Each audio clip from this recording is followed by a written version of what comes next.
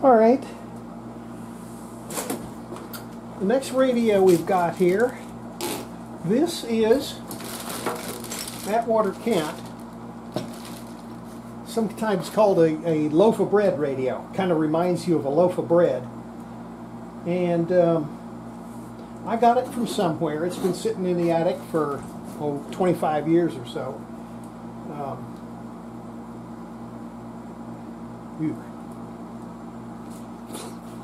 Mhm.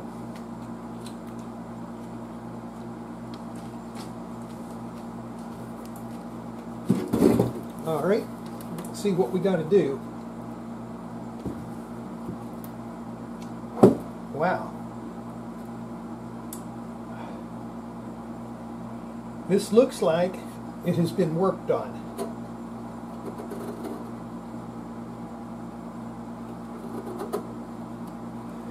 Okay, we got one problem right here to start off with. The knob is rubbing on the cabinet, so that's got to be fixed for sure. Okay, let's get it out of there. It looks like it's been worked on, so I'm going to bet that this is in working order. This radio may be in working order. Um, there are two things that happen to these Atwater Kent's radios of this era. These transformers, open circuit windings, and the second thing are these resistors that are in series with the coil. They're a little resistor that's in series with each coil. They're about a, a 50 ohm or so resistor, a little wire wound thing. And it's used to kill the Q of the coil. That makes it where it has no tendency to be unstable. And those things have a tendency to um, to go bad. The wire, real fine wire, they wind them with uh, breaks. So uh, those are the, the things that mostly go wrong. Other than that, the things are pretty, um, it's mostly uh, nothing but, um, okay, that opens up that. That's been freshly painted. That's been painted. So it's possible that this thing has um, been completely worked on. Ooh. Oh, we didn't have to take that. The set screws on the outside. I thought the set screw was inside. Some of them have a... okay. Well, it doesn't matter. We, we just look at it. All right. Well, I'm going to measure the uh, grid leak while we've got it. That's another thing that does go bad on these, is these grid leaks.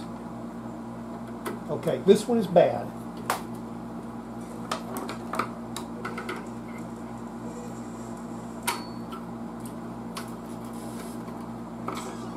This is the Atwater Kent grid leak. What it is is a small glass tube. It's got a very small uh, inner diameter and um, it's got carbon inside of it. But that always breaks contact. This one here reads infinity. And this is very common to go bad in these Atwater Kents. Very common. I don't know. Okay, I got another one right here. see about this one. That one's reading 20 megs, which is high. It would work, but it, it would give distortion. Let me see what else. I got more of them. Okay, I got another one here. Let's see what this one reads. Infinity. Okay, this, these are bad. All right, let's see. How, how many more do I have? I got, got more of them in here.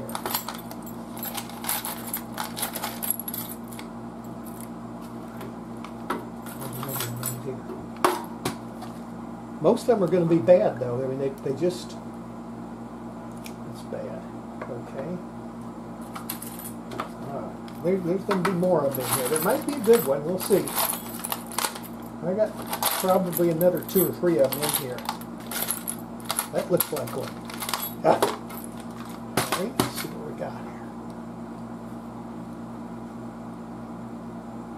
That's way, that's a 20 meg ohms again. 20 megs is too much.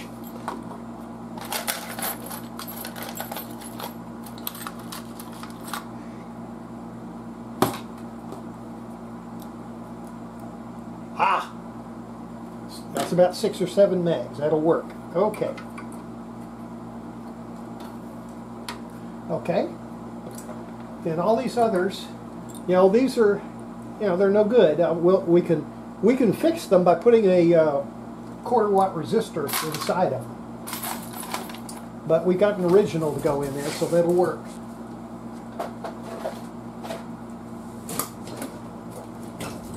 Okay, now, okay, this is the power supply wire. If this was a tested radio, I wonder why this wire is not stripped.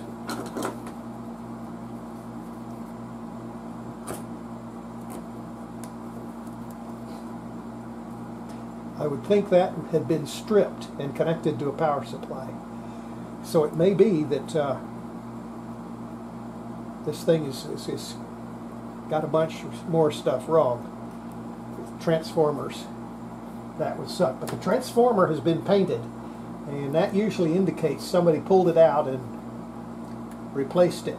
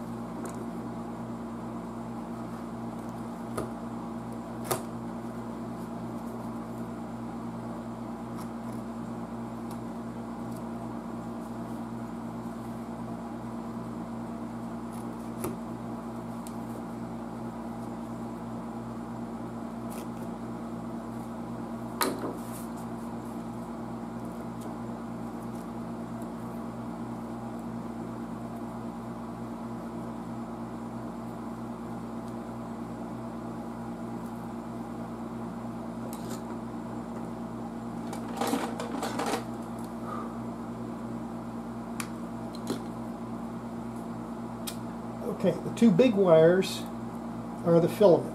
Now this wire is very brittle, so I'm going to sit there.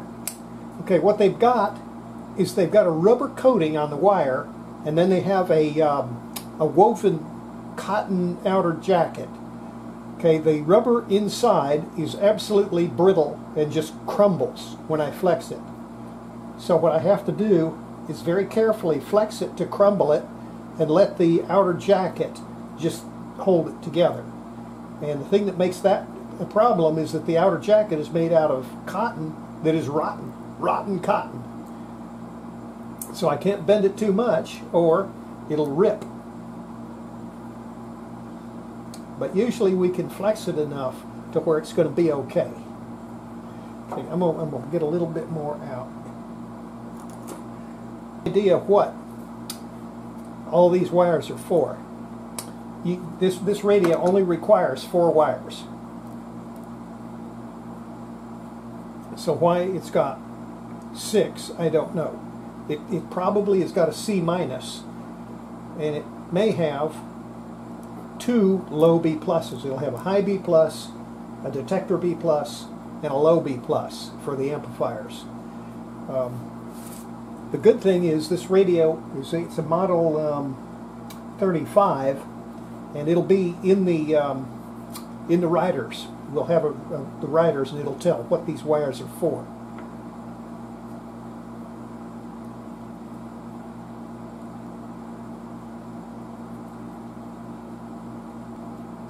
Now, what I'm going to do when I'm finished working on the radio, I'm going to get urethane uh, lacquer, and I'm going to spray these wires with that urethane. Just saturate them with that urethane. This will lock the cotton fibers together and it'll make it to where they won't rip and break.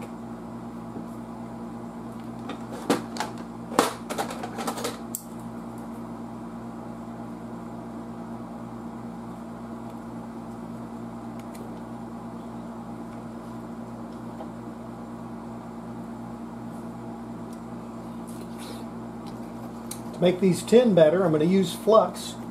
This is rosin flux.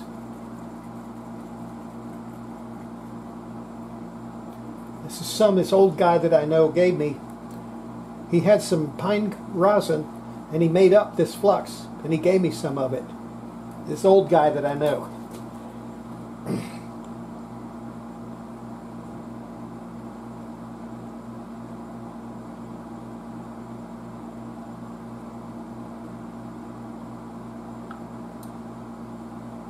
This is real honest to God rosin. It's, it's not the new modern uh, chemical type flux, which is much better. even though, even though um, the modern stuff is better, I like the smell of the old rosin. It smells like pine trees.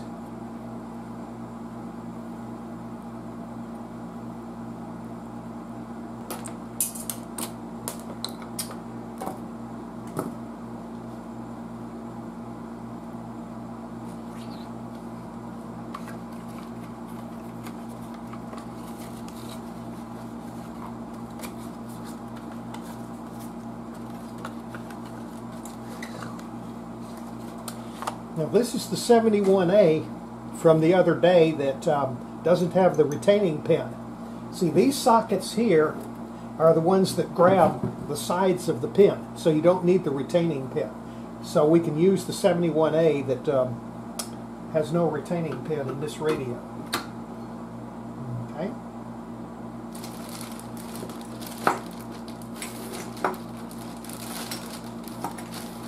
Now, 01As all have retaining pins. There, there, were- there were never 01As made that did not have a retaining pin. Now this one originally used a 200A in here for the detector, but um, it, it's not necessary. An an 01A works just fine.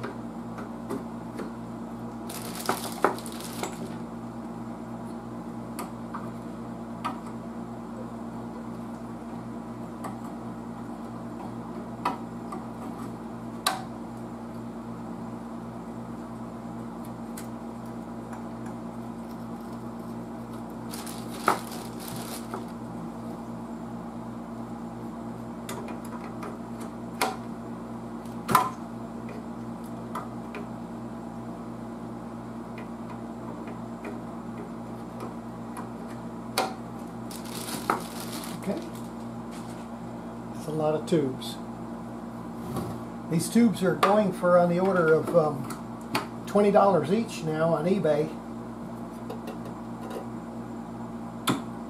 Occasionally you can find some cheaper. The latest batch that I bought were $15 each. Um,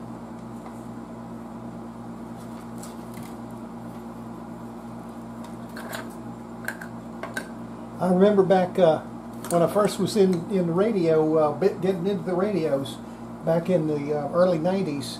Uh, I, I was getting these 01As for four and five dollars a piece back then. Okay, we have to have a speaker. You get the speaker. All right, we're just going to use our our um, radio speaker here.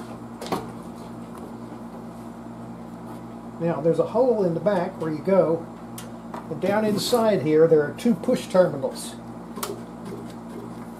When you push down on them, the hole opens up, and you slip these pins into it. Let loose, and it clamps it.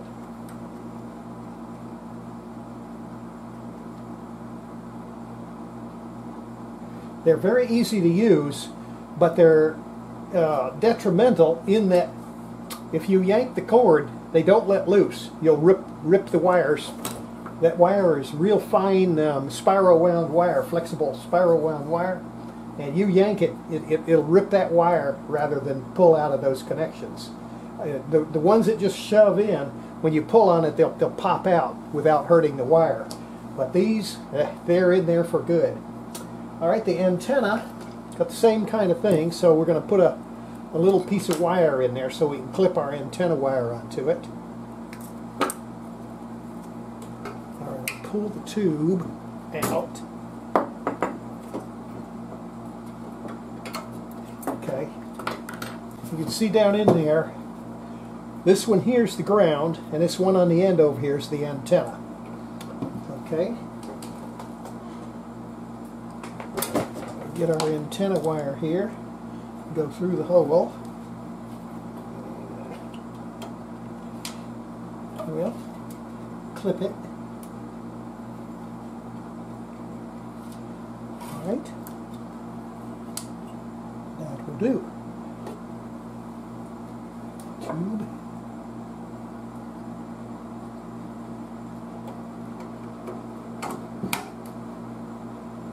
Okay.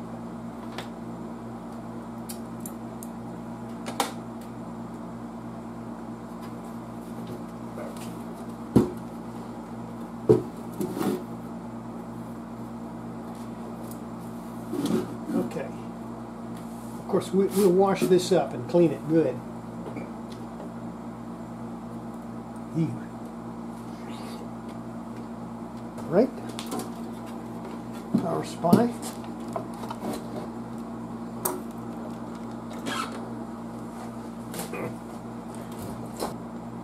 Okay, big red is a plus.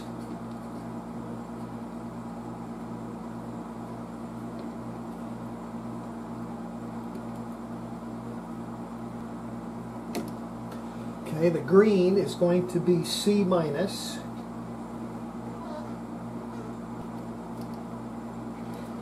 All right, we got three more that I don't know. One of them is going to be the high B plus, one of them is going to be the low B plus, and the other is going to be the detector or another C minus.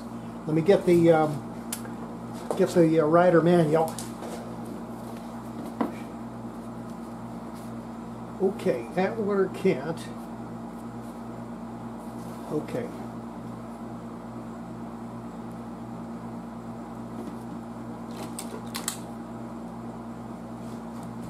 Let's see, 55. If. All right, here we go. hey, page is loose. Okay. All right. Okay, we got a yellow. All right, that's the yellow. That's 22 and a half. All right. And, okay, red. Okay, green, yellow we got. Okay. I'm going to call this white. That's the high B plus.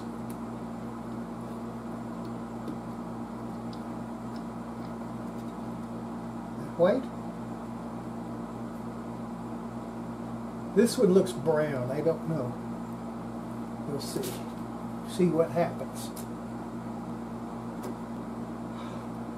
I absolutely despise incompetence. And there's nothing that makes me madder than my own incompetence. And when I put these damn jacks in here, I did not tighten the nuts on the back of them tight. And now they're all coming loose.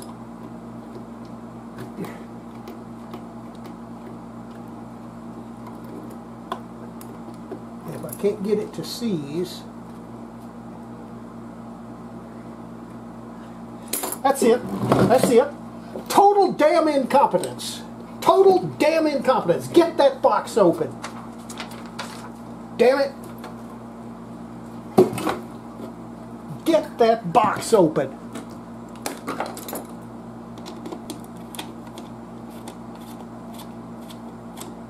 Work so hard on stuff and do a half butt job.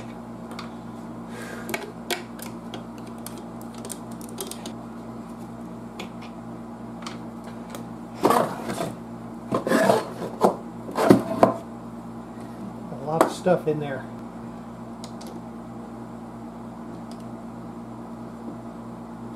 Okay. Hmm.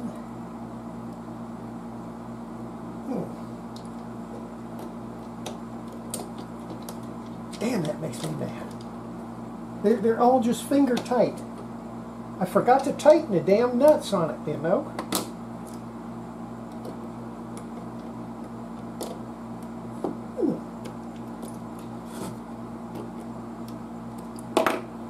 One's loose too.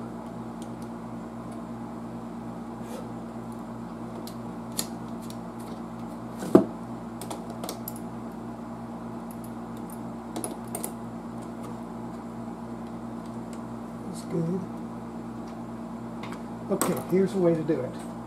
The screw won't start, you get the right size tap. Okay, tap.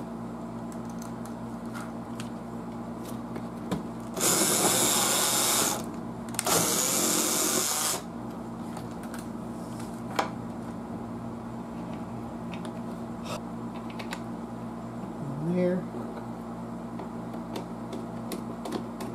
Man, I cannot imagine why that one. That should go right in there, man. That,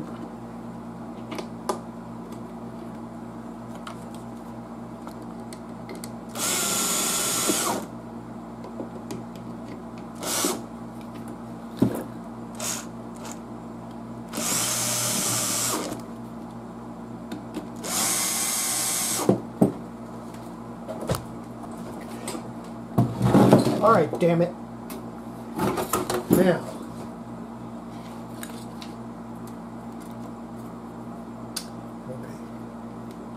Black wire goes here.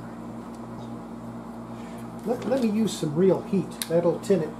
If soldering iron doesn't really get hot enough to um, tin these um, wires, you have to break that oxide. takes uh, oh, 12 to 1500 degrees. Only a soldering gun can do that. Boy, that thing's, see, it's tinned perfectly. See, a soldering iron is, I've got it set to 700 degrees for circuit board repair. So it isn't hot enough to break the oxide. The, the oxide um, breaks up but down at um, around 1100 to 1200 degrees. So a regular old soldering iron, you can't, can't break through it. You have to have a flux that's extremely powerful. Uh, uh, or heat. See this tip here, this is getting up to a thousand degrees. It's, it's dull red and that um, breaks the oxide. But boy, once you hit a thousand degrees, it, it, all that old black oxide just melts away. But you got to have that thousand degree temperature. Now we can tighten the damn things without the, the whole thing coming loose.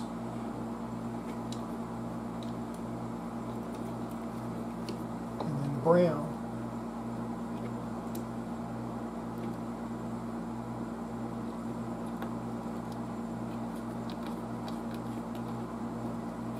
Okay, there we go. Ah. Okay, the antenna, going to hook to the indoor antenna. Okay, we're ready to go. Okay, oh my goodness.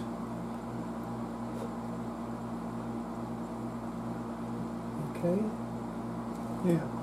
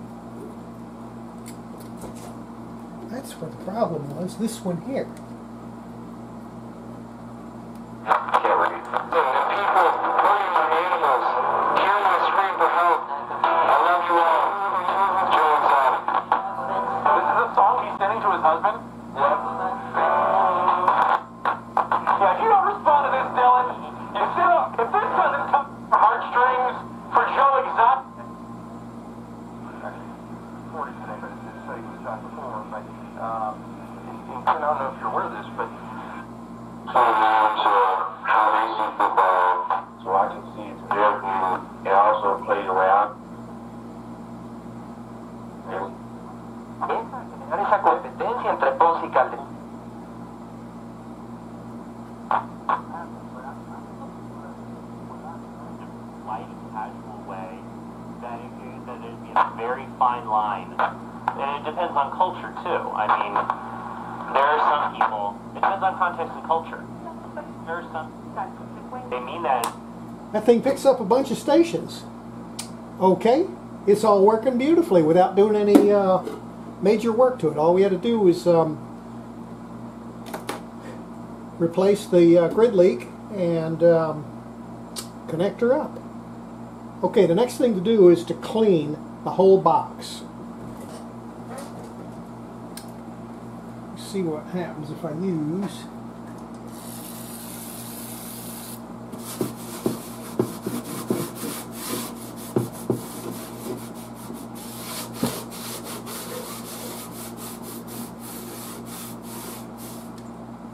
This is original finish. I thought it had been painted, but it's original.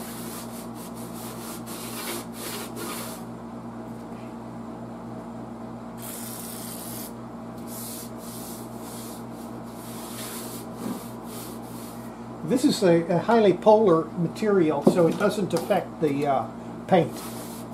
The paint is non-polar, so uh, something like acetone or something would take it right off, or lacquer thinner would take it off. But I mean, this stuff is polar, so it doesn't affect the um, the paint that's on there.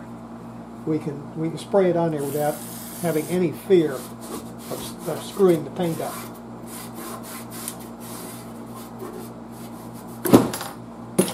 Oh, KMA. KMA. I love doing that. I just love for it to go slamming down like that with the 01A tubes in there. Oh, it just makes me feel so good. Oh my gosh, am I, I feel so good slamming it down like that with the 01A tubes in there. Oh, that makes me feel so good. Yeah, you just believe I feel good. You just go ahead and believe it. You can't imagine how peeved I am right now incompetence putting that thing, balancing it up there on there. What kind of an idiot am I? Most of this is this is just a, a bunch of dust from being in the attic for um, 25 to 30 years. I mean, there is some dirt. I mean, that, that's it's black. It's got it's got some grimy old dirt on there, but uh, most of it is. Uh, dust from the attic. Okay? Alright, that gets most of it off.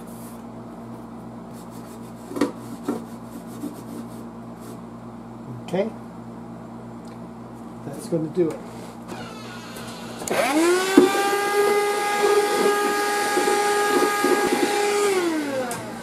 Okay. Now, We'll take that out in the uh, shop and we're going to stain this, then we're going to lacquer the uh, whole thing. And it's going to make it beautiful.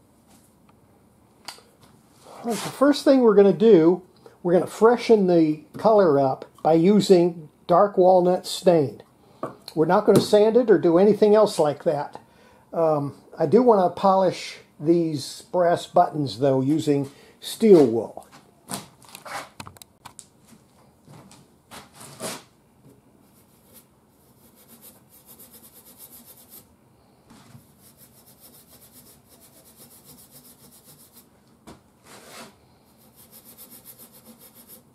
Ooh, those look cute.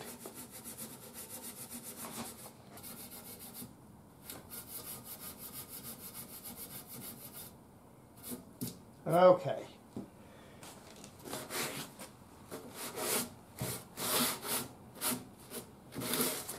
Okay, we just take a piece of uh, felt, some stain, and we are just going to completely rub fresh stain.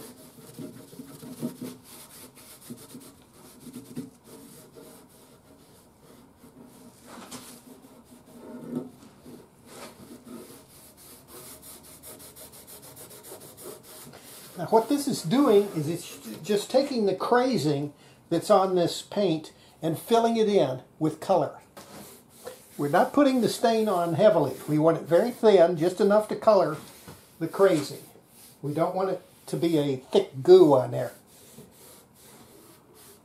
You can see how it, it takes the, the, the white part that's crazed and it just fills it in, turning it all to that nice shade of Atwater Kent brown.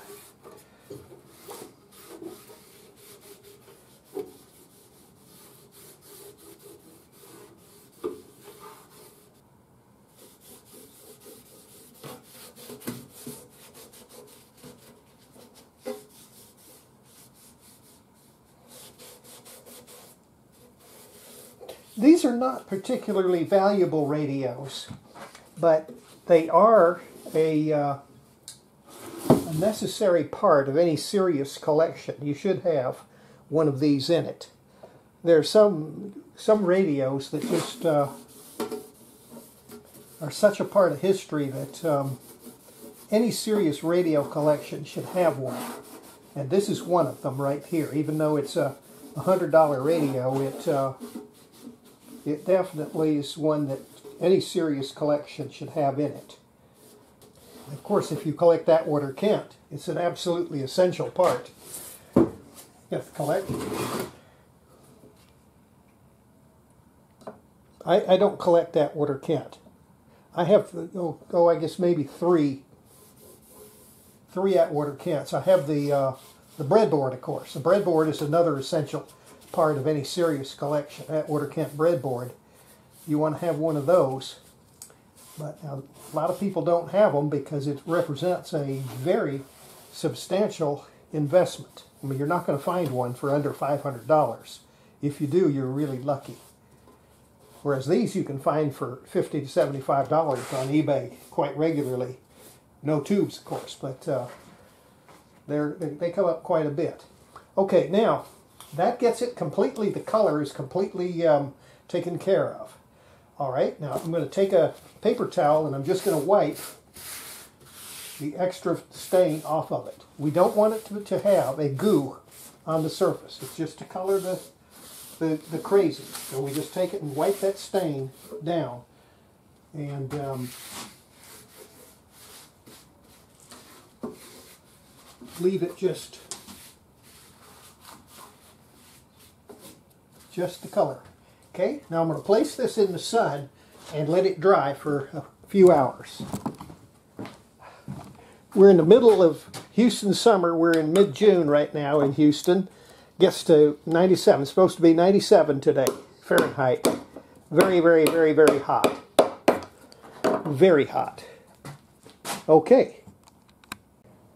Okay. Uh, this is completely dry and we're going to go ahead and we're going to spray it with lacquer, plain old um, hardware store lacquer. All right.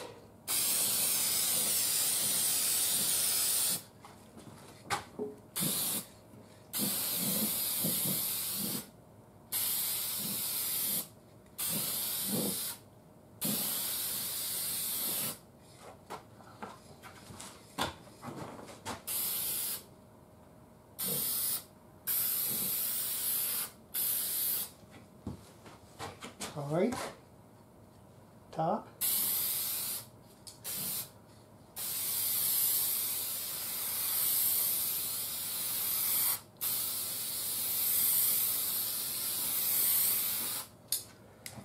Ooh, that looks good.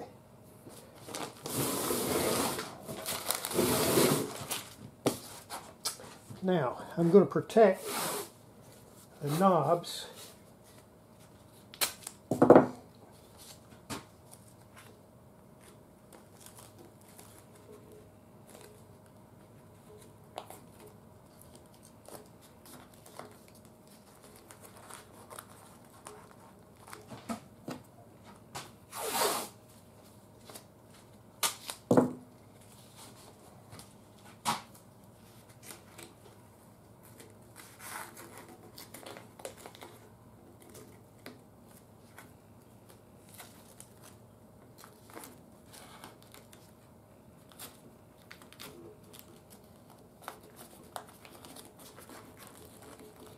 All right?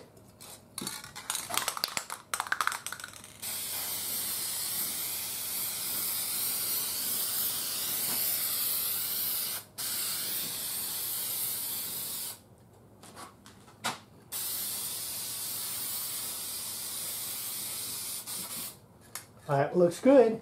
Now, we're going to take this wire and we're going to coat the wires with this. This will, um, this will reinforce the uh, cotton.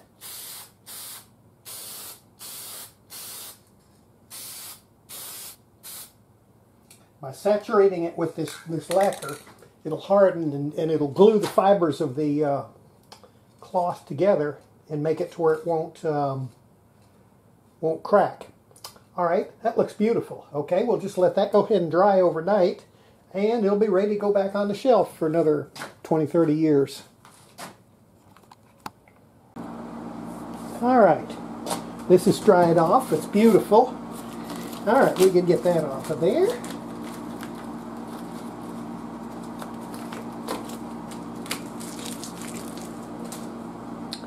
All right, look at that radio. Woo, that is just gorgeous. Okay, that is absolutely gorgeous. All right, well that was not particularly difficult. For once, an easy, an easy radio. All right, that's it.